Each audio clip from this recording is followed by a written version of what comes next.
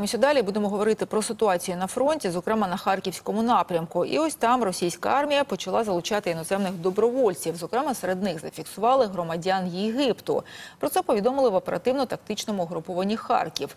Так у Вовчанську росіяни хочуть розширити контроль у двох частинах міста, аби перекрити втрати, шукають джерела поповнення живої сили. І от у звіті британської розвідки повідомляли, що Росія активно залучає до бойових дій найманців з Африки, виплачує їм 2 тисячі доларів підйомних.